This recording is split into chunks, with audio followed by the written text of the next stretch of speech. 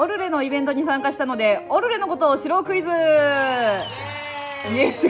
オルレには馬のオブジェがあります。馬のオブジェの意味は一旦休めの意味である。丸か×か、えー、答えはノーでございまする馬ね馬関西って言うんですけれども関西のオブジェは頭の方に進めの意味でございます。島原のオルレコースは中級者向けであるが距離は 13km である。ノーこれはどこがどうだと思いますか？どこがどうだと思いますか？だって違うと思ったんでしょ13キロもないないと。お正解にござります。答えはノーの、えー、13キロではないです。はい。じゃあ何キロだか分かって分かりますか？分かってるんですか？分かってるんですか？何キロなんですか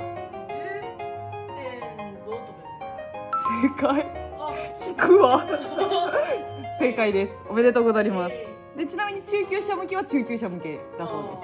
あはい。さあ最後の問題です。島原城七万石武将隊がオルレコースの一部を自転車で走った動画が過去に公開されているかイエスかノーか。はい正解です。タイトルは？スめぐちゃり。正解。皆さん。